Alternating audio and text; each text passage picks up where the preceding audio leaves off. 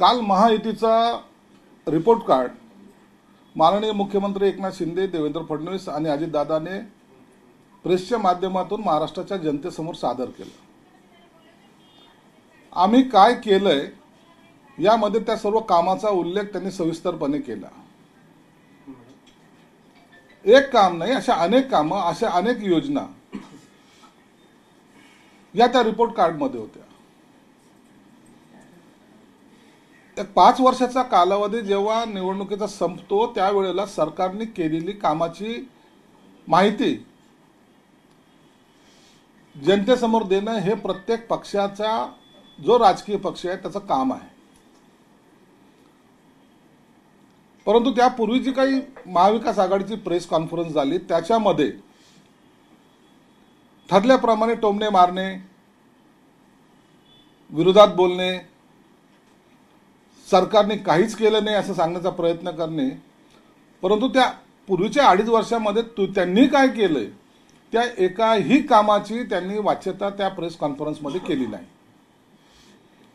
कालची press conference आमची झाल्यानंतर काही महाभागाला तर पूर्ण म- राजकारण कळतं की काय अशा आविर्भावामध्ये त्यांनी पूर्ण त्याला म्हणतात चिरफाड करण्याचा प्रयत्न केला. काय बोलले रिपोर्ट कार्डवर रिपोर्ट कार्ड नाही. रिपोर्ट कार्ड झालंय. बोलताना कमीत कमी महाराष्ट्राची इज्जत आपण किती घालवतोय याचं तरी भान राखलं पाहिजे होतं. एका बाबतीमध्ये ते हुशार आहेत. आकडेवारी सहित सांगतात. टक्केवारी कशी असते? किती लोकांचं पुन्हा ते दुसरीकडे त्यांना शिफ्ट केलं तर काय होईल? किती स्क्वेअर फीट जागा कशी इकडच्या तिकडं जाईल? एकदा तरी त्या महाराष्ट्रातल्या शेतकऱ्याचा उल्लेख केला एकदा तरी त्या बेरोजगारचा उल्लेख केला एकदा तरी त्या लाडक्या बहिणीचा उल्लेख केला कमर्शियल जेवढा असेल फायदा ज्याच्यात असेल तेवढंच बोलायचं. धारावीचा प्रश्न आता हे सर्व मुंबई अदानीच्या गळ्यात घिस- घशात चालली. टेंडर काढणारे तुम्ही? तुमच्या काळातलं पण असलेलं टेंडर? त्याच्यामध्ये आम्ही केलेलं पुन्हा सु- सुधारणा.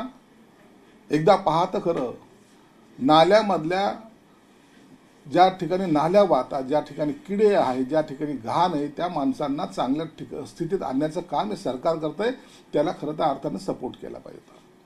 हा यांचा प्रश्न आहे. परंतु माहितीला बदनाम कसं करायचं?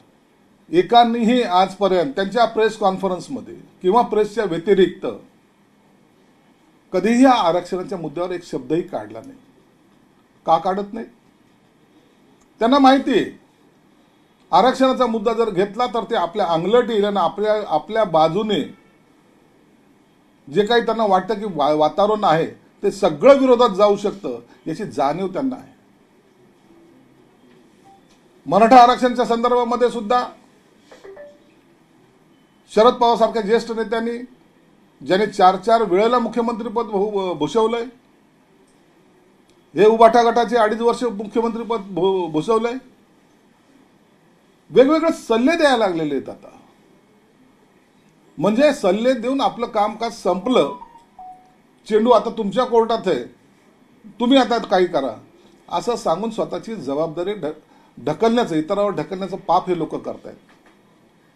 म्हणून हे सरकार माहितीचं सरकार दमदारपणे आपलं पावलं टाकत आहे माझ्या लाडक्या बहिणी योजनेला कुणाची हिंमत नाही आहे विरोध करण्याची. ज्या पद्धतीने सरकार काम करतंय ज्या पद्धतीने हे आमच्या मुख्यमंत्री मा- माझी लाडकी बहीण योजना चालली ना ज्या प्रमाणे वयोवृद्धाची योजना चालली ना विद्यार्थ्यांची चालली ना इतर अनेक गोष्टी ज्या चालू आहेत त्याला आता त्याच्यामुळं यांना प्रचार काय करावा हा संभ्रम निर्माण झाला आहे कसल्या बैठकी घेताय तुम्ही?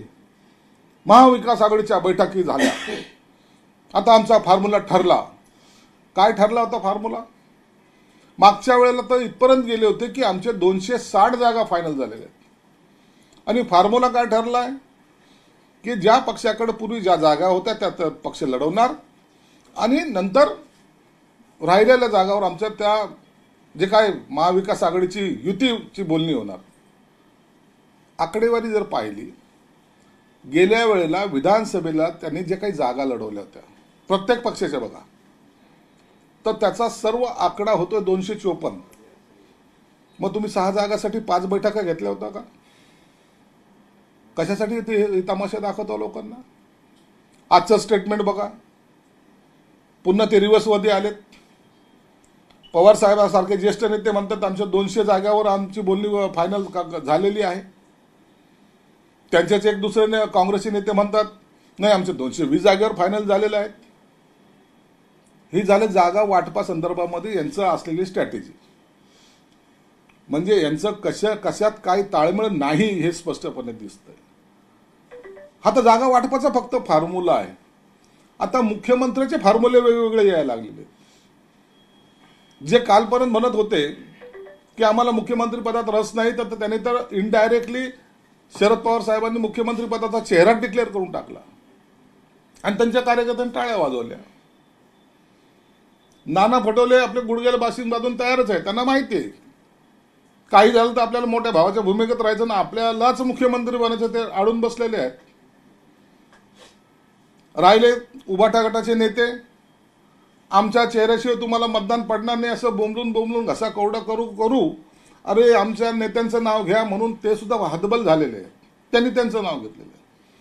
म्हणजे हे यांचं कुठंही अलबेल नसताना महायुतीवर यांनी जे टीका करतात याचे पडसाद त्यांनाच कळून येतील की येणाऱ्या निवडणुकीमध्ये महायुती बहुमतात येते चांगल्या ताकदीने ते इलेक्शन लढवतील. जे जे घडलं आणखीन एक महाभाग बोलले. इलेक्शन इलेक्शन कमिशनरने उद्धव साहेब आजारी पडले याचा फायदा घेऊन आचारसंहिताचा डिक्लेअर केली.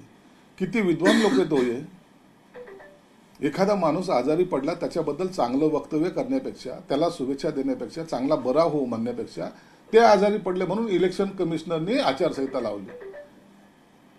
इतक्या बालिशपणाचे वक्तव्य करणारे लोक सत्तेमध्ये येण्याचे स्वप्न पाहायला लागलेले पहिले हेच सांगायचे की एकाच ह्याच्यामध्ये इलेक्शन झाले पाहिजे एकाच टप्प्यामध्ये झाले पाहिजे.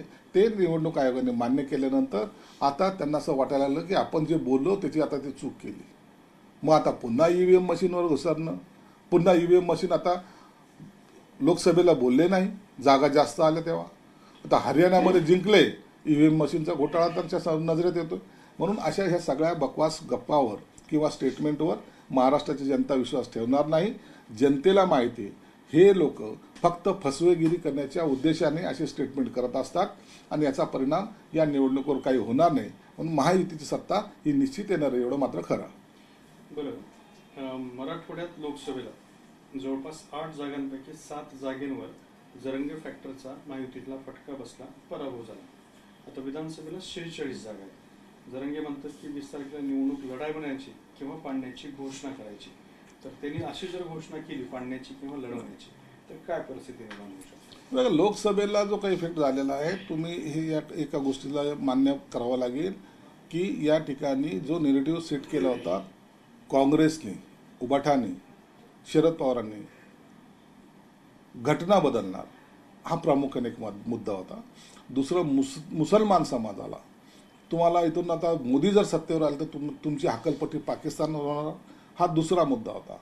निश्चित जरांगे फॅक्टरचा सुद्धा काही इम्पॅक्ट काही मतदारसंघामध्ये झाला हे नाकारून चालणार नाही. म्हणून त्याचा सुद्धा फरक पडला होता. परंतु आता ह्या तिन्ही गोष्टी जे काँग्रेसने राष्ट्रवादीने बोलले ते जो नेरेटिव्ह सेट केला होता हे लोकांच्या लक्षात आलंय. म्हणून काँग्रेस राष्ट्रवादी किंवा उब- उबाटाकडे आता मतदान जाणार नाही. ते मतदान आता सगळीकडं वाटल्या जाईल एवढं निश्चित आहे.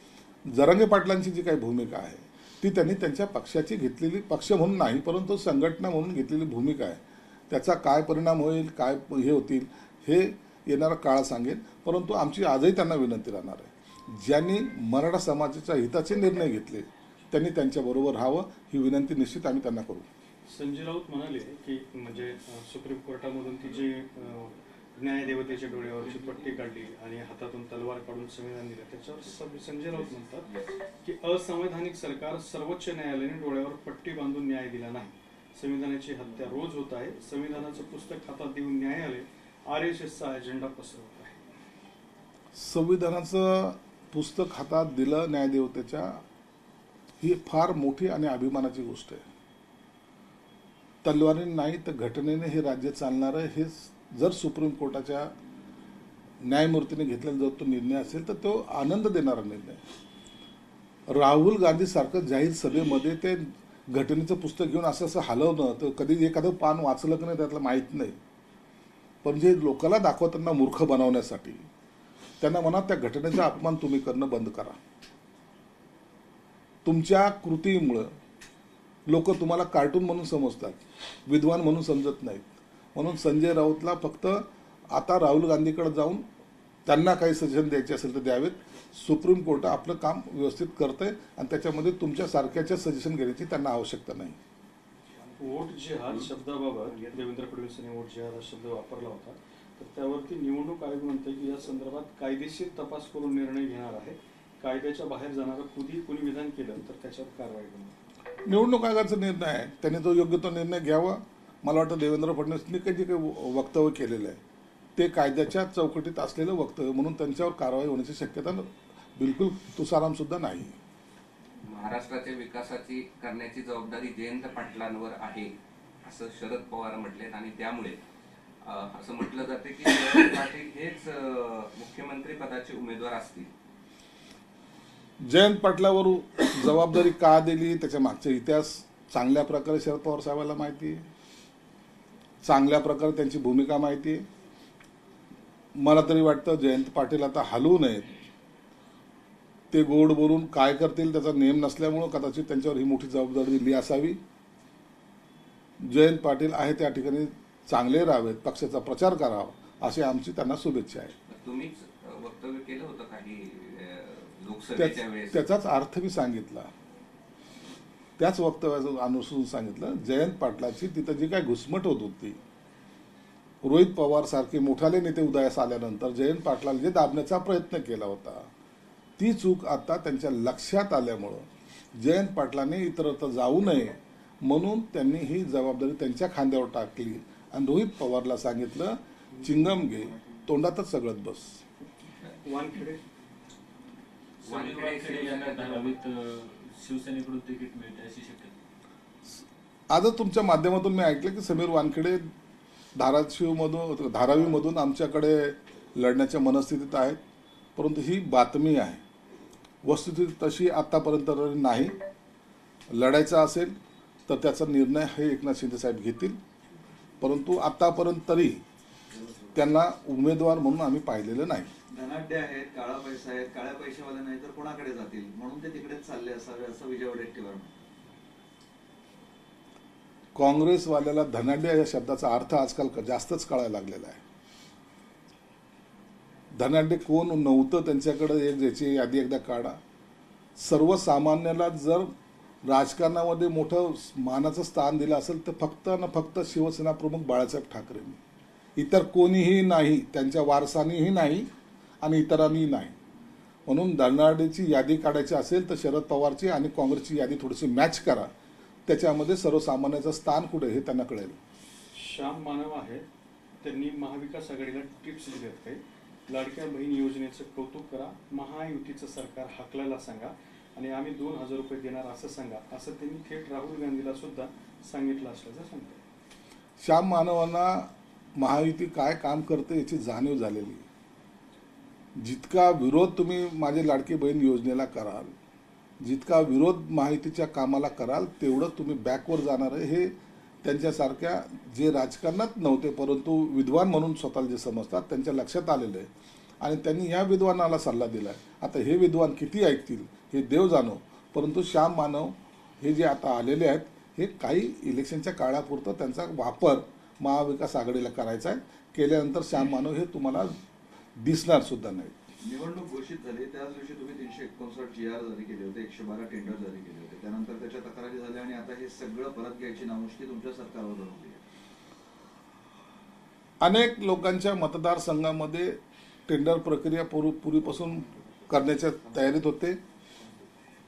मतदारसंघामध्ये असलेली कामं ही झाली पाहिजे. आता ही टेंडर म्हणजे काय? तर आज जरी टेंडर फ्लोट झालं तरी त्याचा कालावधी हा एक महिन्याच्या आसपास असतो.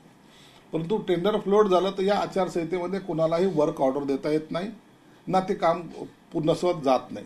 म्हणून तरी काही लोकांच्या तक्रारी जाणून बुजून जे केल्या आहेत की बाबा यांच्या मतदारसंघामध्ये एवढा निधी आला आहे हे लोकांना जर कळालं तर मतदानावर परिणाम होईल असं जर वाटत असेल म्हणून निवडणूक आयोगानं त्या कामाला जर स्थगिती दिली असेल तर त्याच्यात काही गैर नाही परंतु ही टेंडर प्रो- प्रोसेस ही आचारसंहितेनंतर पुन्हा स्टार्ट करता येईल.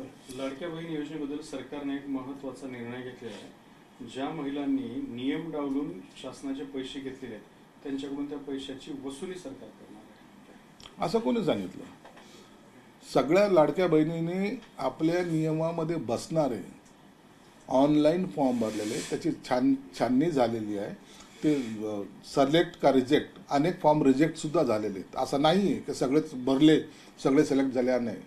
जे सिलेक्ट झाले ते सिलेक्ट झाले त्याच्यामध्ये कुठेही कटछाट होणार नाही. त्या सर्वांना पैसे हे चालू राहतील. अहमदनगरला संगमनेरची जी विधानसभेची जागा आहे. त्या जागेवरून सुजय विखे पाटील निवडणूक लढवण्याची तयारी दाखवत होते. मात्र त्यांना तिकीट नाकारल्याचं सध्या समजते कारण ही जागा महायुतीमध्ये शिंदे सेनेकडे आहे. त्यामुळे एकाच घरात दोन तिकीट नको म्हणून त्यांना तिथून ती उमेदवारी नाकारल्याची माहिती आहे.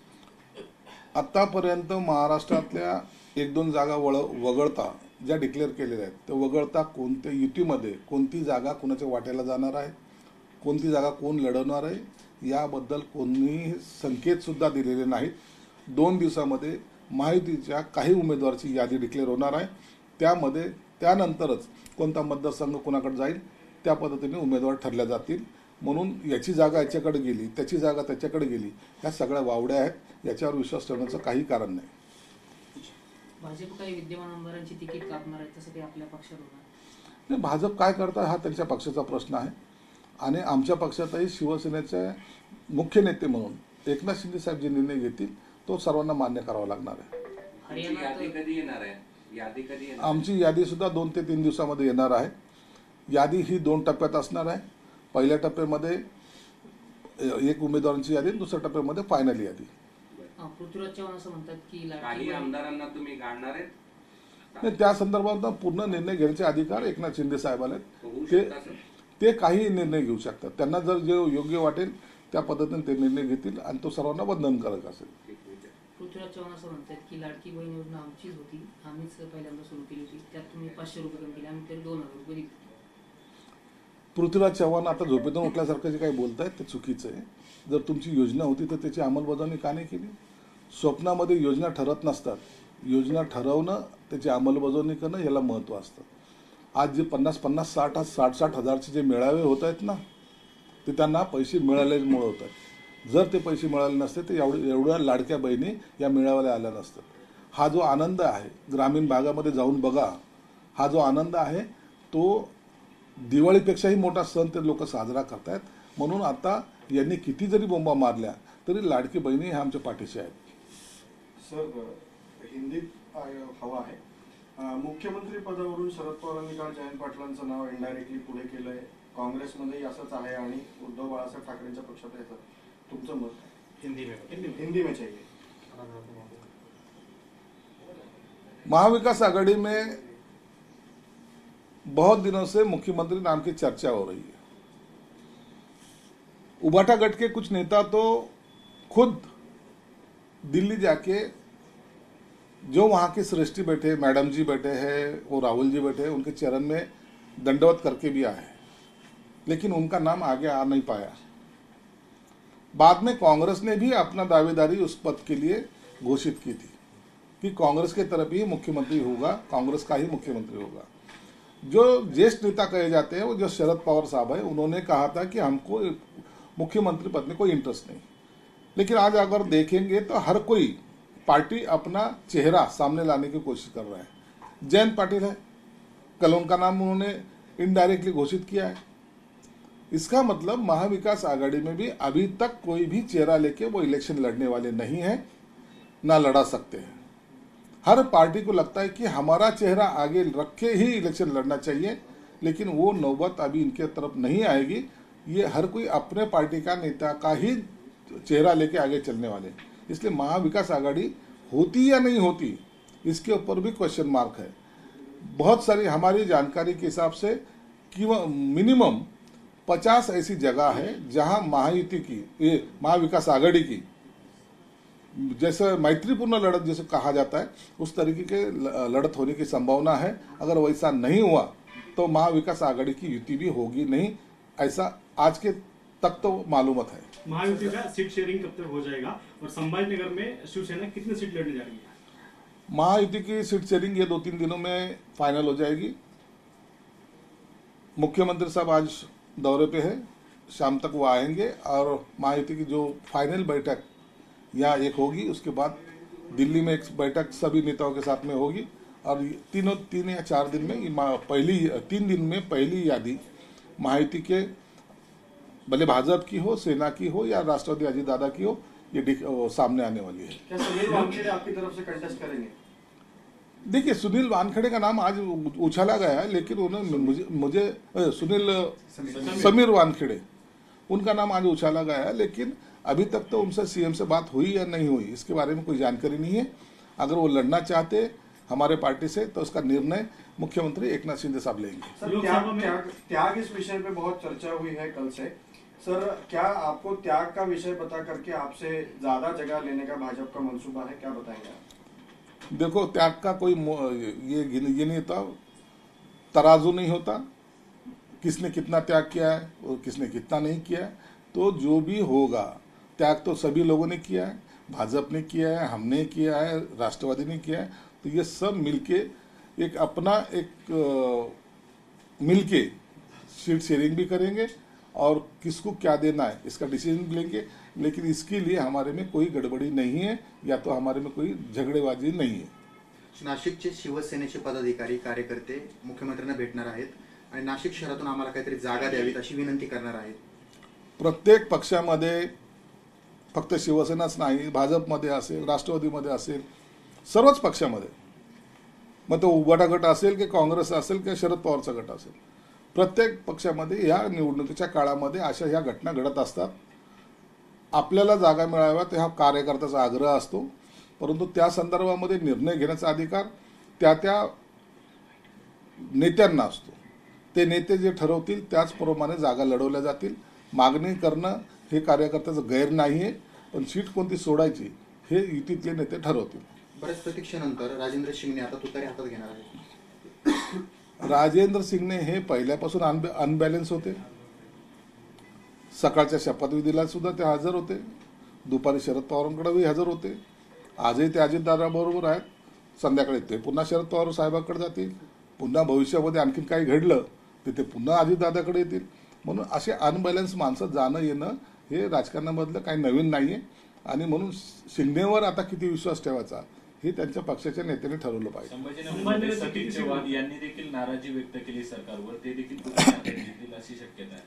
सतीश चव्हाणांनी जर तुम्ही पाहिलं गेल्या वर्षभरामध्ये किमान सहा सात वेळेला अजितदादाला गंगापूर मतदारसंघामध्ये बोलून अनेक कामाचे उद्घाटन केलेले होते. हे नाकारून चालेल का? मग ते जे काही उद्घाटन केले होते जे काही विकासाचे कामं केले त्याला निधी कोणी दिला होता? अजितदादानेच दिला होता ना? मग त्या नेत्याकडून कामं करून घ्यायची पूर्ण. आणि त्या सरकारवर टीका करायची. मला वाटतं हे योग्य नाही ही पद्धत नाही आहे तुमच्या तुम्हाला निवडणूक लढवायचा हा भाग वेगळा आहे. परंतु त्याच्यासाठी महायुतीला जबाबदार ठरणं हे चुकीचं आहे. इतका करोडोचा निधी त्यांच्याकडून घेतल्यानंतर आपण त्यांच्या विरोधात बोलणं मला वाटतं सतीश चव्हाण सारख्या ने- नेत्याला शोभत नाही. म्हणून त्यांनी बोलताना जर तुम्हाला इलेक्शन लढवायची तर त्या निवडणुकीपुरतं बोला. पुन्हा टीका करू नये असा मला मैत्री मैत्रीचा सल्ला असेल. निवडणूक लढवायची तयारी त्यांनी दोन वर्षापूर्वीपासून चालू केली होती. आता त्यांना माहिती आहे तिथं भाजपचा उमेदवार आहे आमदार आहे. म्हणून तिकीट मिळणार नाही या अनुषंगाने त्यांनी हे वक्तव्य आहे किरण सामंतांकडून पोस्टरबाजी केली जाते विठ्ठलाचा वारकरी विधानसभेचा मानकरी अंधेरा हटेगा सूरज निकलेगा अशाचे पोस्टर झळकले. मी पहिल्यांदा सांगितलं की किरण सामंत असेल की आणखीन इतर असेल सर्वांना अपेक्षा आहे ही निवडणूक आपण लढवावी आणि त्याचा निर्णय एकनाथ शिंदे साहेब जरूर घेतील. तुमच्या प्रचार स्तंभपूजन झालंय. तुमची इलेक्शन कशी तुम्ही माझी इलेक्शन म्हणजे माहितीची इलेक्शन आहे माहितीमध्ये एक शिलेदार मी आहे. म्हणून माझी सीटसुद्धा निवडून आणण्याची जबाबदारी माझी तर आहेच आहे. परंतु इतर सीटासुद्धा निवडून कशा येतील याचीसुद्धा जबाबदारी माझ्याकडे असल्यामुळं मी त्या पद्धतीने जोरकसपणे प्रचाराला लागलो आहे आणि मी निश्चित अत्यंत बहुमताने गेल्या वेळेस असलेल्या लीडपेक्षाही डबल लीडली माझी सीट निवडून आणण्याचा प्रयत्न करेल. माझ्या मतदारसंघातील जनता जी अनेक वर्षापासून मला ओळखते. त्यांना माहिती आहे संजय शिरसाट कधीही कोणतीही प्रकारची ना हप्तेखोरी करत नाही ना कंपन्या बंद पाडत नाही ना कुणाला द धमकवत नाही ना जमिनीचे चुकीचे व्यवहार करत नाही आणि कोणत्याही कामामध्ये तो कधी मागे पडत नाही. म्हणून कामाच्या जोरावर ती जनता मला निवडून देईल एवढा मला आत्मविश्वास आहे. आणि त्यांच्याच जोरावर आजपर्यंत मी सगळे माझ्या ज्या का पायऱ्या चढलो आहे राजकारणाच्या त्या जनतेच्या आशीर्वादामुळे चढलोय. म्हणून जनता ही माझ्या पाठीशी कायम राहील असा माझा विश्वास आहे. सगळे प्रमुख तुम्ही फोडले शिवसेनेचे. अजून कोण आणखीन रोज आता तुम्हाला रोज आता मी फक्त त्यांना एक एवढीच विनंती केलेली आहे की आता मुख्यमंत्र्याकडे जाऊन प्रवेश घेण्यापेक्षा मुख्यमंत्र्याची व्यस्तता पाहून आता महाराष्ट्राचं राजकारण आहे युतीचे बोलणे आहेत स्ट्रॅटेजी आहेत सगळ्याला भेटणं आहे काही मोठमोठ्या लोकांचे प्रवेश आहेत अशा वेळेला तिकडं न जाता आता सर्व प्र प्रवेश माझ्याच कार्यालयामध्ये होतील आणि जे काही इच्छुक आहेत येण्यासाठी पक्षात त्यांना सर्वांना आता या या दोन चार दिवसामध्ये मी पक्षात घेणार आहे. मोठ्या नेत्याचे काय? सर्व कार्यकर्ता हा मोठाच असतो. फक्त त्याला मानलं पाहिजे. उभाटा गटामध्ये कार्यकर्त्याची किंमत ही झिरो होती. शून्य असं समजलं जायचं. कार्यकर्ता हा तुमचा घरगडी नाही. कार्यकर्ता हा पक्षासाठी स्वतःच्या ताटातलं दुसऱ्याला देऊन काम करत असतो म्हणून त्याला महत्त्व दिलं पाहिजे. हे ज्यांना समजलं नाही म्हणून त्यांचा पक्ष आज हा रसा तळाला गेला आहे. एबीपी माझा. उघडा डोळे बघा नीट.